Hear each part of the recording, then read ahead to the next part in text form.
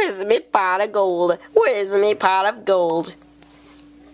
I'm just gonna sit down thinking about where my pot of gold is. Sir, uh, sir, will you get off of me, please?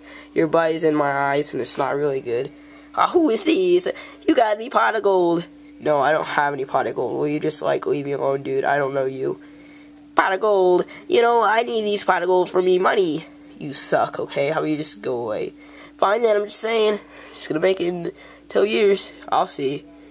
Twelve years later. I can't believe I'm sitting in the same spot as I did 12 years ago. Hey, remember SpongeBob? Remember that deal I, I told you 12 years ago about that money deal? Yeah. It worked and I'm rich now. I'm living in a big house. Holy crap. And this is what Bill Clinton wanted us to get forced to?